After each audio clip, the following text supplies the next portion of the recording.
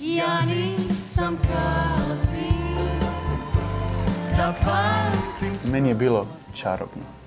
Ja. Pa mislim odabrati Gabi Novak, apsolutno kraljicu interpretacije, to je prvo svaka čast. I bravo, ja se recimo to ne bi usudila nikada, ni sada. Usudili smo se, preživjeli smo i uživali smo. Malo mi je možda za šansonu bilo mrvicu preškolski. Meni je to što su oni rekli kompliment, evo, iskreno. Dva koraka lijevo, dva desno, taj dio je malo školski. Meni je to bilo jednostavno, elegantno i, slatko. Ko da S drugog planeta stanimo.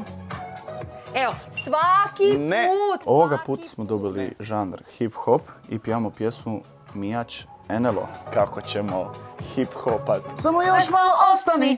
Ovi ljudi su mi... A zajedno? A šta mi se smiješ? Mamo mi daj više energije. Ajmo, odmah ćemo stati.